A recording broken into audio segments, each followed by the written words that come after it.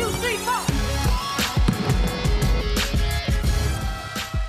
It's a good day to have a great day. Hi, everybody. I'm Scotty Gange, and today I know we're in summer break, but we still get to celebrate some former prep stars who just keep on winning at the professional level. Champions everywhere like Reggie Jackson, the Nuggets guard, an NBA title winner, the kid from Colorado Springs, Palmer High School alum.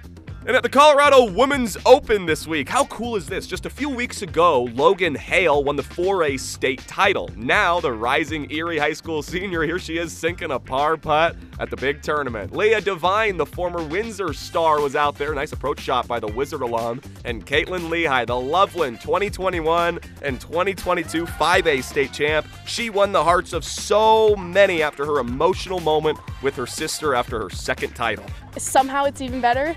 Um, if you would have asked me last year, I would have said it couldn't get any better than this, but here we are, and I don't have words again. So I watched Lauren go through four years of high school, win two state championships, and my entire life I've just wanted to be like her. Whether that's a good thing or a bad thing, but this it's been two years since I've played state, and I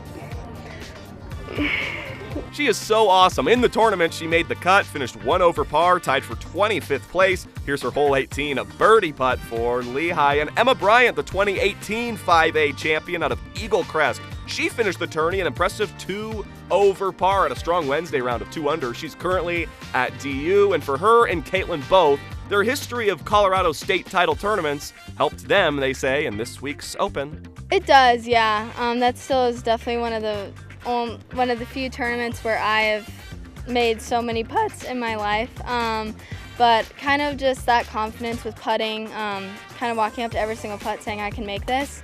Um, and that definitely that confidence leaked in today for sure. just you, come out, you want to play the best you can, and it's it's kind of hard to manage your expectations in an event that's a little bit bigger. Um, it's not like like in high school it was go out and I want to win everything. In college and in these professional events, it's you kind of got to manage it to see what's realistic and what can I actually accomplish. Former prep stars are on their way. Hey, I'm Scotty Gange. We'll see you next time, right here on the 9 News Prep Rally.